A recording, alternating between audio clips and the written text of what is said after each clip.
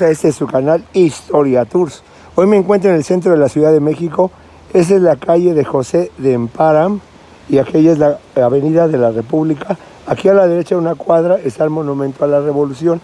Esa es la calle de Tomás Alba Edison y en esta casa de, con el número 49 aquí se conocieron Ernesto Che Guevara y Fidel Velázquez. Vamos a leer.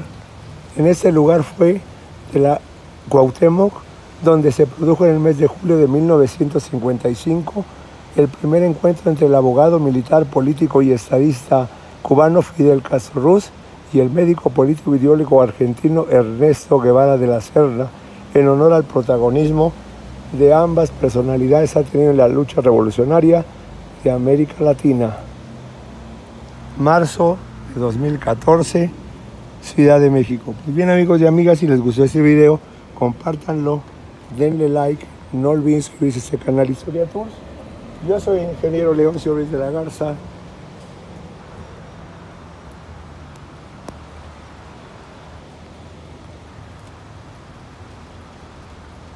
Hasta la próxima amigos.